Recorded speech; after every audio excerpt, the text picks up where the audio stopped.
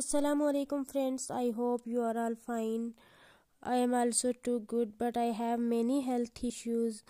Please pray for me. So let's start our today's topic. Reasons for stress. Number first no exercise. Number two no sunlight. Number three garbage food.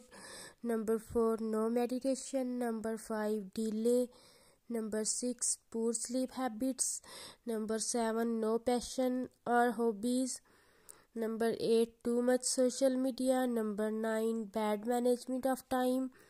Number 10 no zikr no tilawat. The last one is the main cause of stress.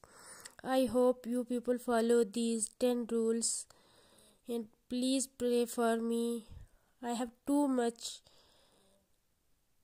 health issues وعلیکم السلام ورحمۃ اللہ وبرکاتہ